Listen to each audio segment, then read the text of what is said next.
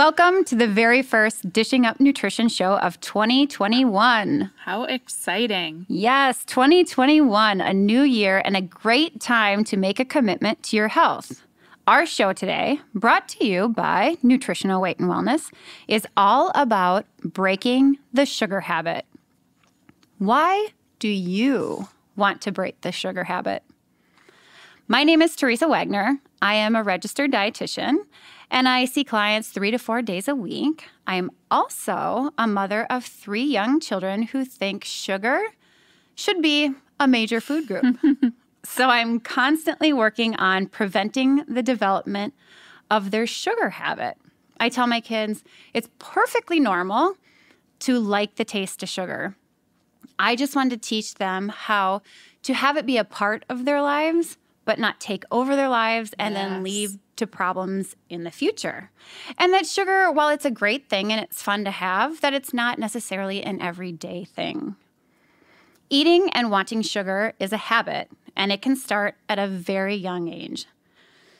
Okay, so before we dig into our topic today, I would like our co host, Brittany, to introduce herself. Good morning, everybody. I am Britni Vincent. I'm also a registered dietitian, and I work individually with clients and teach many of our different nutrition classes. But one of my favorite classes to teach is breaking the sugar habit. So, if eating sugar is a difficult habit for you to break, I really recommend taking this online class for only $25. You can go to weightandwellness.com, click on nutrition classes at the top of our website, and I really think the most important reason nowadays to kick the sugar habit is because controlling your blood sugar plays a key role in the risk you may have contracting and then the ultimate outcome if you get the COVID or if you get a coronavirus infection because studies have found that the way people eat in the US often result in a weakened immune system because sugar processed carbs will actually slow down how your blood how your white blood cells work. And that's a serious problem. Yeah. And it makes it so important for us to kick that sugar habit. Research has found that 16 teaspoons of sugar a day reduces the ability of a special kind of white blood cell called neutrophils to help your body fight off infections, particularly those caused by certain bacteria and viruses. So I know you listeners are saying, I never eat 16 teaspoons of sugar. that is an obscene amount. Well, let's take a look at where you might be getting all this hidden sugar, and you're going to find out it's pretty darn easy to get 16 teaspoons. So here's a pretty common scenario. You make your daily drive through at your favorite coffee house for your morning vanilla latte, and then a muffin just sounds delicious, especially with the latte. So you grab one of those as well. Your vanilla latte has seven teaspoons of sugar, and the muffin contains eight and a half teaspoons. So you're starting your day off with 15 and a half teaspoons of sugar with just one quick trip through the drive through, you're already at your sugar limit for the entire day. And starting your day like that, I can almost guarantee you're going to eat more sugar. Right. Because we, as we know, the more yeah. sugar you eat, the more yep. sugar you want. Yep. As I was introducing myself earlier, I mentioned that I am trying to prevent my children from developing a sugar habit. So here's some interesting news from Food Business Newsletter. In the fall, pumpkin spice lattes are very popular, but they typically do not attract new customers, but rather they appeal to the former and existing customers who purchase mm. them more frequently. Pumpkin spice latte lovers tend to be women who are 45 years or older. So, what does that say? That sounds like my demographic. well, not quite. but it says that basically, once you have that pumpkin spice latte, those are the people that are con- going to continue to buy that particular item and they're going to keep coming back for more.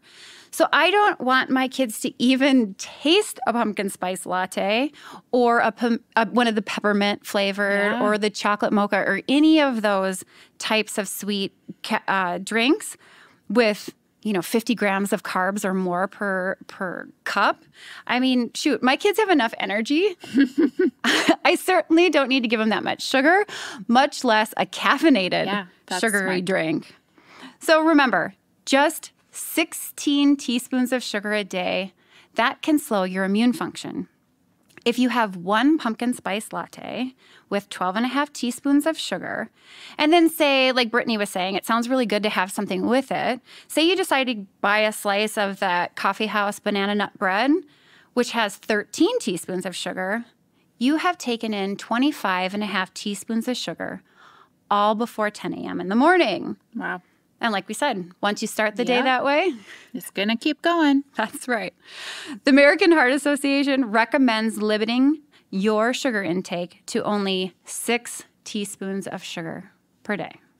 Just six. That is not much at all.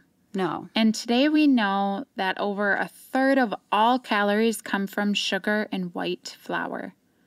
And our bodies do have great resilience, but frankly, our bodies are not able to cope with that amount of sugar and flour on a regular basis. And I do think, you know, most of you know the story about sugar and what it does to us, but sometimes you have to hear it many, many times for it to actually sink in. So I'm going to repeat what you may have heard before. But sugar, That just reminds me, just because I've t- we've been talking about my kids. You know, we as adults, we're just like kids, right? Oh, we have to hear the same things over and over and over again before they start to really click. percent. Yeah, especially if you love sugar because you don't want to accept the truth. Yeah, we do what we do because we like it. Yeah, yeah. So, but we know sugar gives you that initial high, then you crash, then you crave more because you want that high again. And again, over and over, it happens. You're on that roller coaster. And sugar stresses your adrenal glands, so you get more anxious, moody, fatigue sets in. Your brain, your body just start to not function as well. However, the long term side effects are really the real trouble, troublemakers that wreak havoc on your health. And oftentimes, people don't even know that that's happening inside their body. Right. body. Mm-hmm. So, before you grab one of those sugary treats that you received from a friend during the holidays, Teresa and I want to share some of the health problems you're inviting to come into. The first one is decreased immunity, which makes you more susceptible to infectious bacteria and viral infections. Right. And research suggests that that um, susceptibility happens because that sugar, well, it inhibits vitamin C entering into your white blood cells. So the more sugar you eat, the less productive your white blood cells are, and the more likely you are to get sick. Sugar also directly affects your triglyceride number. It's sugar and processed carbs, not fat, that stimulate your liver, liver's production of triglycerides. So many people really don't realize the triglycerides are linked to strokes, to heart disease, and of course, obesity. I usually suggest to my clients they look at their triglyceride number on their blood chemistry panel. Don't just look at the total cholesterol number. Look at that whole breakdown. You'll find the triglycerides. And your triglyceride level is the fat in your bloodstream, and many experts believe that your triglyceride number is really the best predictor of heart disease and stroke. So, the number we recommend, the optimal number is 75 or less. And we've had clients with numbers over 2,000 Right. Mm-hmm. which is it's crazy. But at the same time, I've had clients that in a matter of a couple months, it drastically reduces. So that's possible. We I just read an email from a listener who eats the weight and wellness way, and she also exercises daily. She just received her blood uh, chemistry panel, and her triglycerides were 23. Wow. Yeah. That is that's a num- number to strive for. Yes. As you've just heard, and as we all know, we have these intellectual reasons in our head based on science for why we should eliminate sugar and processed carbs from our diet. But it's hard because sugar is sneaky and it finds its way into foods that we wouldn't even mm-hmm. consider to be high in sugar. For example, pizza. would you consider it to be a high No. sugar food? Absolutely not. No, because it's savory, right? It's not sweet. The stock prices of Domino's Pizza have risen 99% in the last three years. my gosh. And you know, I wonder how much of that was in 2020. Yes. but we will talk a little bit more about that when we come back. You are listening to Dishing Up Nutrition. The holidays are over, so perhaps it's time to break your sugar habit because eating excess sugar is certainly worse for you while we are all experiencing the ongoing COVID 19 stress. The Center for Disease Control and Prevention reports that people with underlying health conditions such as type 2 diabetes, heart disease, high blood sugar, and obesity are at an increased risk for complications if you become infected with COVID 19.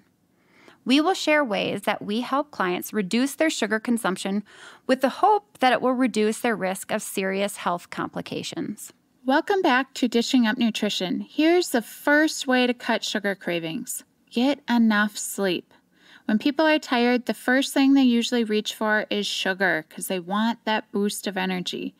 But then the problem is, sugar gives you that boost, but then you crash and then you want another boost. And like we've been talking about, it just becomes this vicious cycle. So, most people who sleep eight to nine hours experience fewer sugar cravings. And then the added bonus is those people who like to lose a few extra pounds, they do that while they're sleeping.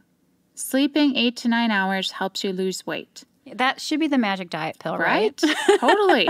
And we have many podcasts that we talk about sleep and, and get into more detail about that.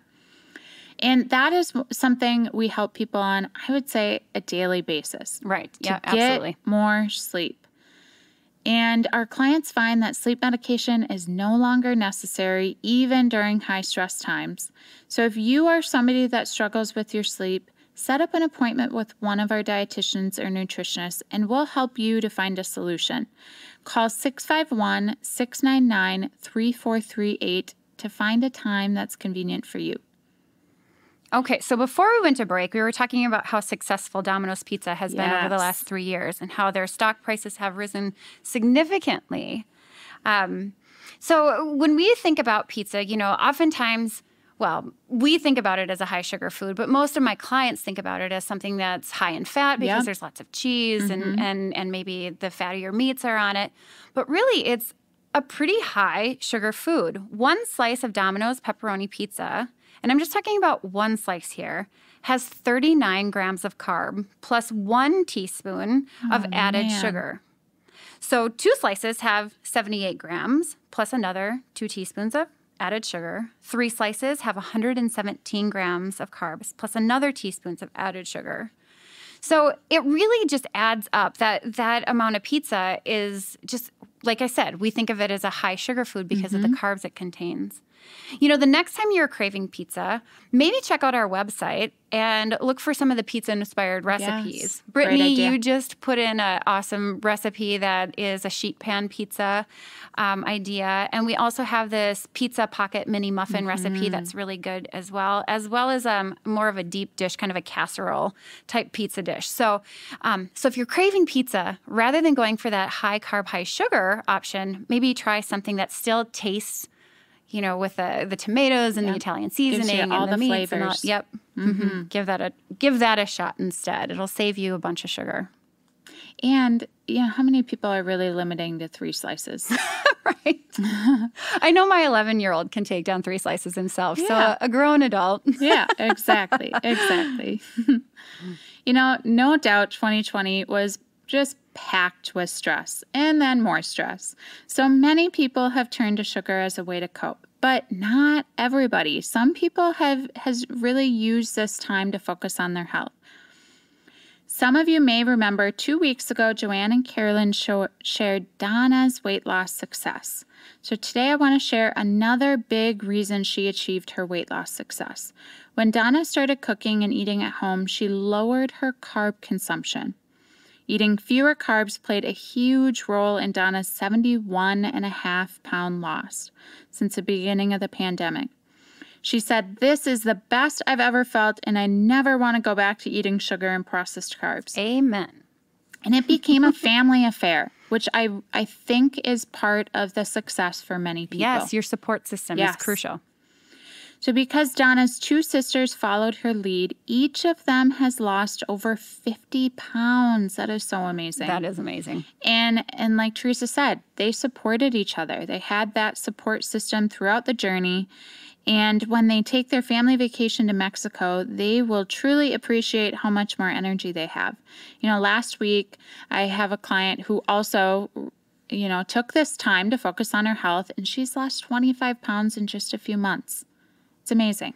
It's so it's so exciting and it's so fun to hear from those Yeah. people. I also had one. Actually, I hadn't met with her for quite a while, but um, she started this this real food journey a year ago, and she's down sixty pounds. And it was funny. The first time I met with her was via Zoom, and this was before Zoom was a thing. And even with Zoom, with that significant of a weight loss, you can absolutely see it in their face, and you can see it in their eyes. Just, I mean, the glow and the light is back, and the and she was always a delightful person, but Yeah. I mean, just it's just so much fun. Yeah, those stories really they make my day. Yeah. And you know, one thing that she said to me is that she's like, the thing that she has to do the most is stay away from sugar because she knows for her that as soon as she has mm-hmm. it, it's just it's it's a it's a vicious cycle for her because sugar is addicting. And like we've said before, the more you eat, the more you want. I realize one of the reasons it's so hard to get off of sugar and stay off of sugar is because our brains actually become addicted to sugar. Like for her, she's a, she knows that addiction Yeah. is there, and so she's staying far away from it.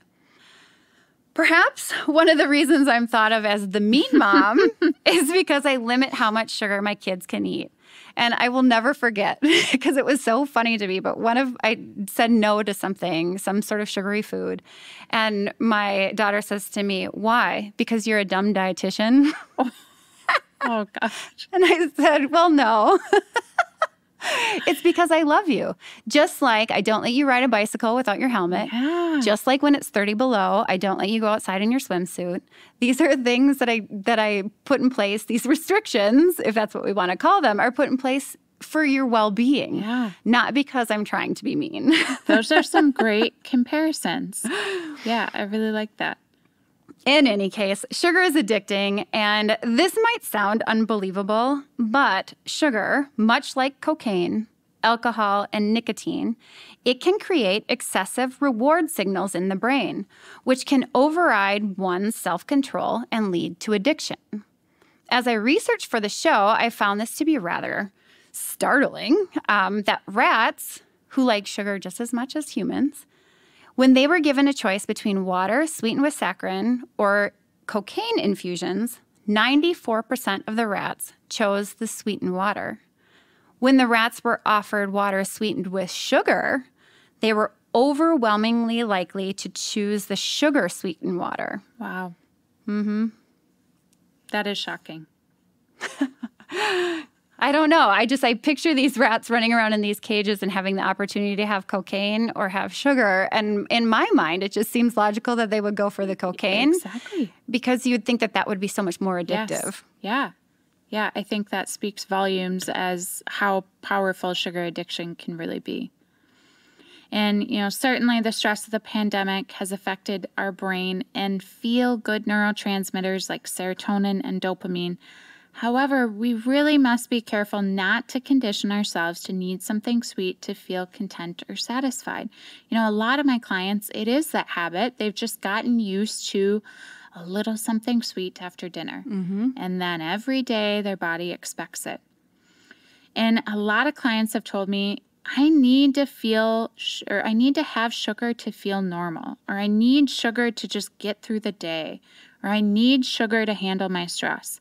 But, you know, everything's relative, and they don't realize how much better that they will feel once they get out of their life. Mhm. Yeah, it's you know, many parents, including myself, have seen teachers or other adults in their children's lives give out sugar as a treat or a reward for good behavior or for good work or good grades. And kids become conditioned to need a treat of some kind t- um, or some other kind of reward, maybe, to feel complete or satisfied. And that line of thinking continues into adulthood. I call it the I deserve it attitude. Yeah. You know, I had a hard day at work, so I deserve that glass of wine. Or I'm feeling sad, so I deserve a treat in order to feel better. And and it really it becomes a part of you know of who we are and and how we cope with things and sugar like many other things are, are not great coping mechanisms so instead of sugar rewards my kids get high fives Love it. but research really shows that using rewards actually lowers intrinsic motivation which is that internal ability mm-hmm. to do things without an obvious reward. So I want my kids to want to do things because that's what they're supposed to do, not because I'm going to give them Yep. something in exchange for them doing what they're supposed to do. Yep. That's great. And you know, this information may also surprise you. Sugar works the addiction path and reward pathway in the brain just like many illegal drugs. Like Teresa gave the example of the rats and sugar versus cocaine. And, you know, very wise director of a local addiction treatment center said that she believes Mountain Dew is the gateway substance to alcohol and drug addiction. I mean, that's a very strong statement. It is, But yeah. on a daily basis, we see what excess sugar consumption does to clients. And I think, you know, I've seen it the opposite too, um, where people get drugs and alcohol out of their life and then they replace it with sugar. Yes. I, I have a lot of clients where that's the case because they're still wanting something to light up their brain. Yes, I have seen that as well. Um, it's almost like you're taking one addiction and replacing Exactly. it with another one. Well, you are listening to Dishing Up Nutrition, brought to you by Nutritional Weight and Wellness. A trick I personally use to control my sugar and carb cravings is to keep those treats and snacks out of my house. You know the saying, out of sight, out of mind. This trick works for my kids too. It's difficult to snack on something that isn't there. So true. And right now, my kids are not old enough to drive, so I've got a- few more years before this will be the case. But have you noticed when you buy a bag of chips, there is just that little voice that comes from the pantry or the cupboard that says, just have one more. Yeah. And the next thing you know, that whole bag of chips is gone. when I don't buy these foods, I don't eat them, so I don't miss them. Welcome back to Dishing Up Nutrition. You know, my solution to control my sugar cravings is to eat real food, you know, about four times a day. And this may sound crazy because it's a wild time of year, but I moved a couple weeks ago into a new crazy. house. you know. Britni, you need some you need some coaching and life planning. Ah, I'll just say I'm glad the last couple weeks are done. but, you know, as many of you know, moving, it's a dangerous, sugary situation because you know, you need quick things. Right, You're you're not gonna wor- you're yeah. not gonna pause and cook. That's right. You're already working Yeah. hard enough. Yeah, exactly.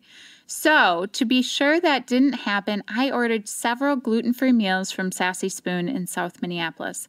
I stocked up on these healthy, gluten free meals so I would not be tempted to eat junk food or just grab something quick from takeout. And I love Sassy Spoon because the owner, Tamara, cooks real food. It's all gluten free. She never uses refined oils. And that means you will never have to have foods cooked in soybean, canola, cottonseed oil, any of those processed oils. And Tamara and her staff, they cook with butter, coconut oil, olive oil, avocado oil. And besides all of that, the food really, truly is delicious. Yes, they are really good. And this Yeah. would be a great time to support small businesses like the Sassy Spoon. I know that they have, like you were saying, those frozen meals that you can Mm-hmm. just buy and reheat. So if you really need something to, to be easy over the holiday season, it would be a great time and a great thing to support a local Yeah. a local business. Yeah, I'm sure they they will greatly appreciate it. So if you don't want the sugar and processed foods around, and like Teresa said, you want those easy things to just grab out of the freezer, go to Sassy Spoon mpls.com to check out their menu and order some amazing food for curbside pickup. So, before the break, we were talking about um, sugar and how addictive it can be. And now Teresa and I are going to share some other health conditions linked to excess sugar consumption and why these conditions even happen. And I think every one of you listeners is probably going to resonate with at least one of these symptoms or conditions that we talk about. Well, okay, so the first one we're going to talk about is how excess sugar consumption can lead to high cholesterol. I think many people find it interesting that most of the cholesterol circulating around the body is actually made inside the body, not from the food we eat. So if we have high cholesterol, we need to ask why is our body making too much cholesterol? Well, we know, and it's confirmed by the 2015 nutrition guidelines, that cholesterol is no longer a nutrient of concern, meaning we don't need to be concerned about the cholesterol in high cholesterol foods like eggs and shrimp. For the majority of people, when you eat high cholesterol foods, the body just slows the internal production of cholesterol. So, if it's not the cholesterol in the food, well, what's causing mm-hmm. it? There's got to be a reason, and that reason is sugar. All carbohydrates are broken down into sugar. When blood sugar levels go up, like they do after eating a big bowl of ramen noodles.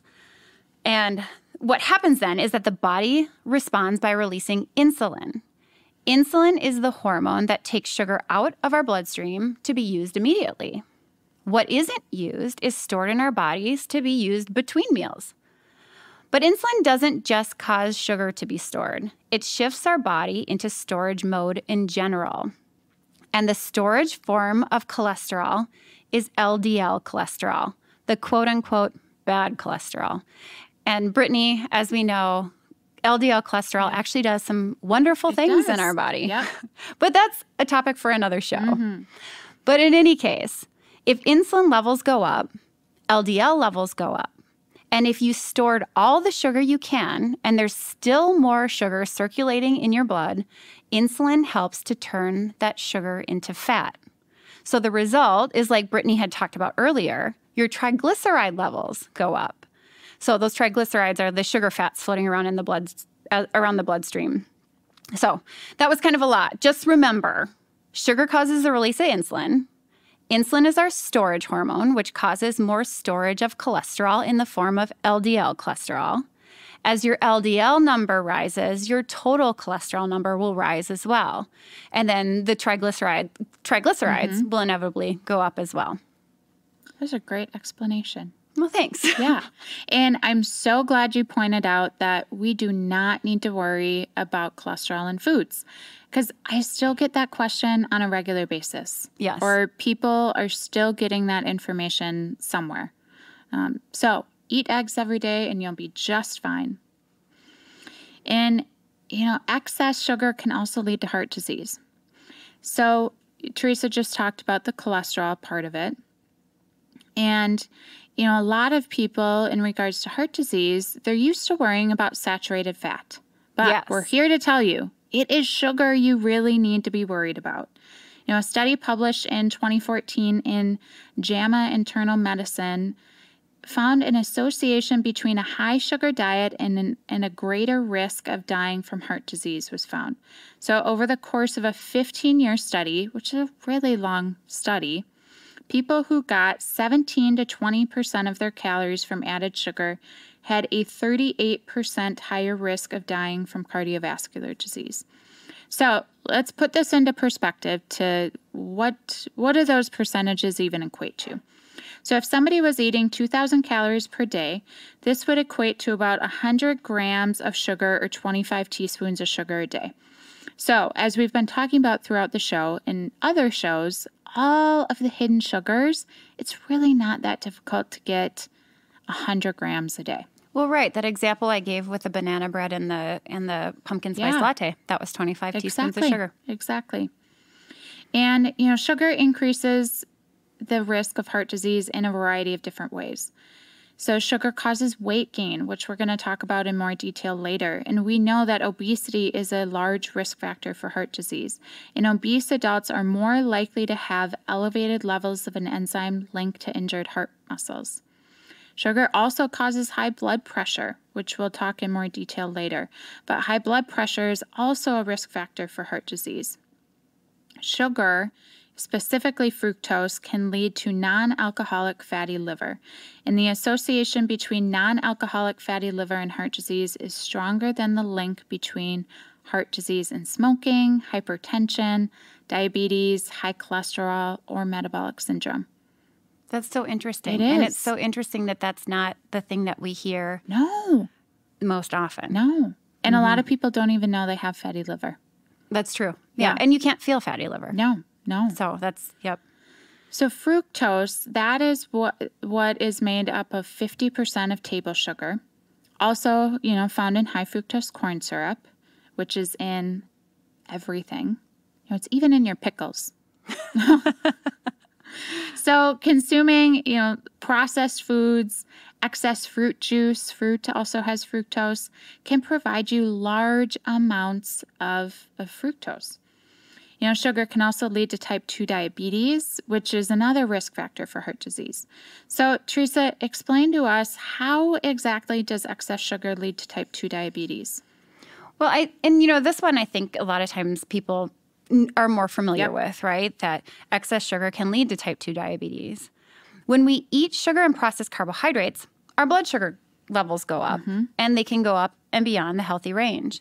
The higher our blood sugar levels go and the more often it happens, the more insulin is needed to get those blood sugars back down into the healthy range. When we don't do this very often, you know, popping your blood sugars up out of the healthy ranges, our pancreas, the insulin, our cells, they all work together pretty well in order to keep us healthy. But if we are consistently eating processed carbs all day, every day, it taxes that system, leading to insulin resistance. And this is where your cells are unable to use insulin to let sugar into the cell. We often use this example of a door on a house and a key to unlock the door to explain insulin resistance. Our cells is the house, and the cell receptor is the door. The key is insulin. In order for sugar to get into the cell, we need insulin to unlock the cell door. When we have high levels of sugar and insulin every day, over time, it's like the door locks up and the key doesn't work anymore. And it's pretty easy to do as far as having blood sugars, uh, high blood sugars over the course of the day. Grab a Pop Tart and a banana for breakfast, have a sub for lunch, lasagna and breadsticks and wine for dinner, sprinkle in a few Christmas cookies, Yeah. an energy drink, maybe a soda, and like in between the meals, and you've got elevated blood sugars all day long. Eat like this for years, and it can lead to type 2 diabetes. You are listening to Dishing Up Nutrition, brought to you by Nutritional Weight and Wellness. Well, here is a well researched solution to control your sugar cravings. I have my clients who have intense cravings for sugar take the supplement L glutamine several times a day when they are experiencing sugar and cravings.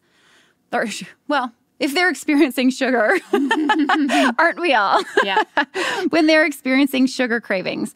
1,000 to 2,000 milligrams of L glutamine taken every two to three hours will typically relieve those sugar cravings.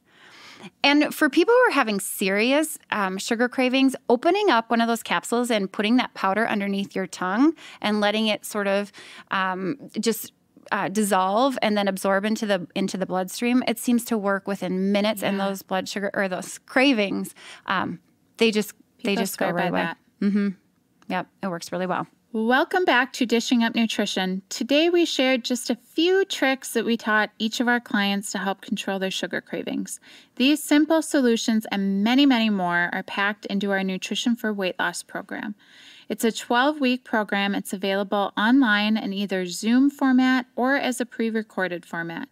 So think about what format you might prefer. Then make the decision to sign up so you can breathe a sigh of relief because you're going to have a plan in place and support to break the sugar habit.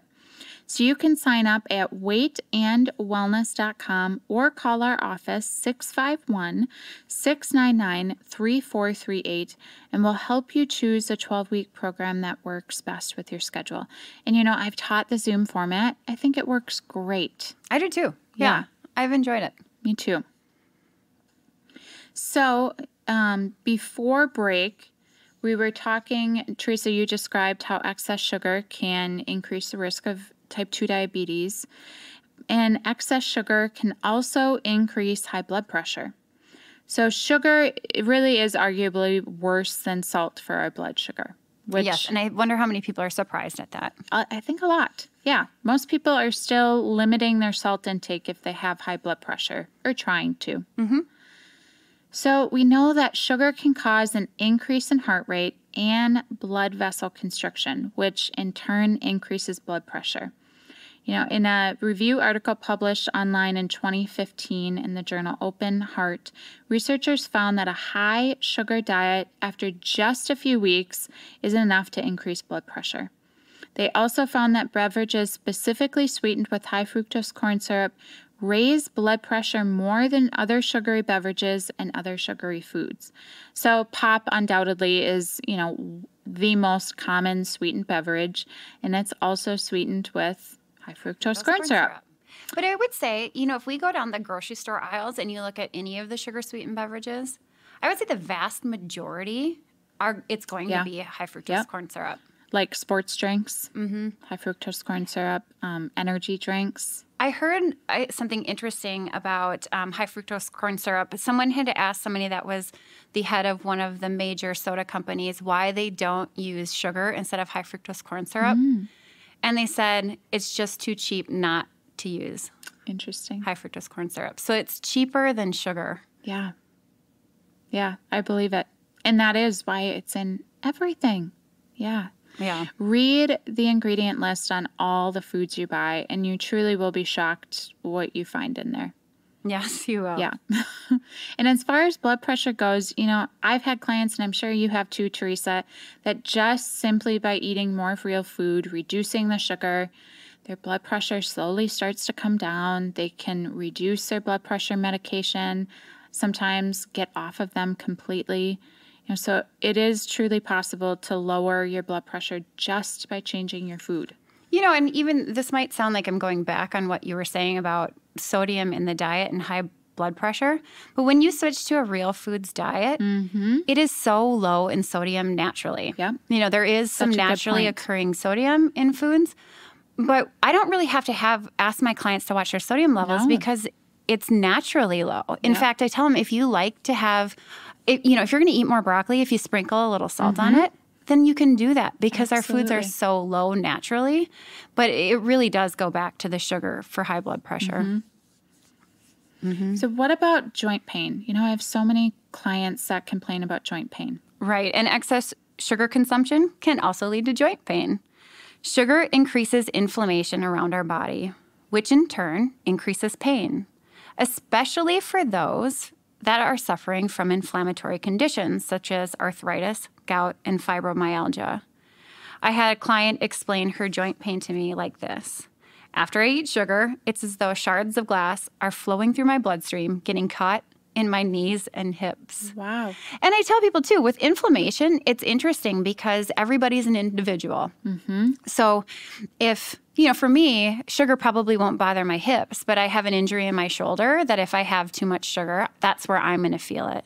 For other people, where inflammation might it might be in their feet yeah. or it might be um, in other parts of their bodies, that's where they're going to feel it. So if you have any sort of inflammatory condition, it doesn't even necessarily have to be your joints, but when you have sugar in your diet and it creates that inflammation, that's where you're going to feel that yeah. pain. And sometimes what I find is that people don't even realize it's sugar because we're eating so much sugar consistently. Exactly. And when I'm talking about sugar, I'm not t- thinking somebody sitting down with a, a bowl of, of table sugar and just eating it by the spoonful. It's just those foods that we've been, mm-hmm. you know, talking about that are just so common in, in the everyday um, meal meal plan for most people you know and and um, it just tends to be high in sugar creating inflammation around the body and we don't realize that the aches and pains in our body are from these foods that we're eating over and over and over again once we pull them out we start to realize yeah. oh yeah it is the food you know we have the people that they get out of bed in the morning and they realize that their feet don't hurt once they hit the floor. And they're like, whoa, what just happened here? I can actually get up out of bed without it hurting. This is fantastic. Well, and I think it's such a good point. People do not connect what foods are causing them pain or inflammation if you're always eating it. You really do have to pull it out and see how differently you feel. And then most people find after that period of time where they eliminate sugar or, you know, in some cases gluten, then they don't even want to go back because they feel so much better. Mm-hmm. Or inevitably, yes. like everybody has to do. We always yeah. have to test it, right? We always oh, have to yes. see, well, surely this piece of cake yeah. is not going to mm-hmm. hurt, you know? And then the next morning, like I said, you get out of yeah. bed and your knees are cracking and painful, or your feet are hurting, or your shoulder, or wherever. Like I said, it's an individual thing. Wherever that pain lives in your body, that's where it's going to show up. And then what we find, right, is in it fewer and fewer are um, times that they have the things or longer periods of time mm-hmm. without eating those types of foods because it's just not yeah, worth it. Not worth it. And that's, you know, if you made that connection, that's what you should think about before you're thinking of eating the cookie or the muffin or pizza or whatever. Is that worth having knee pain tomorrow or having a headache or whatever it is for you? And often, you know, if you think about that, the answer will probably be no. Right. No surprise you know, excess sugar causes weight gain. what? yeah. but, you know, we're, I'm going to talk about it in a little bit different way. You know, one way that sugar can lead to weight gain is through our hormone leptin, which is also known as our satiety hormone. So basically, leptin regulates your metabolism and the rate of fat breakdown. So as leptin levels rise, your metabolic rate increases and you're satiated. As leptin levels fall, your metabolism slows down. Dr. Lustig, he's a prof- professor of pediatrics in the Division of Endocrinology at the University of California.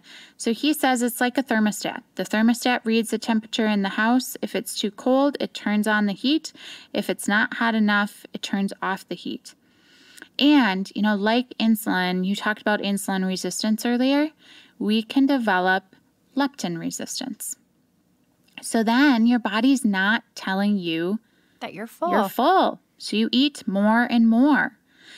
But the cause of this goes back to insulin. So basically, it's too much insulin that can prevent leptin from doing its job and making you more hungry. And Dr. Lustig, he says the problem is everybody's insulin is two to four times higher today than 40 years ago. really? That's significant. That is huge. And as Teresa talked about, insulin itself stores body fat. So we have that happening, and then there's the trickle down effect of it affecting your leptin. So we're storing body fat from insulin, and then we're hungrier, and then we're storing more body fat because we're eating more.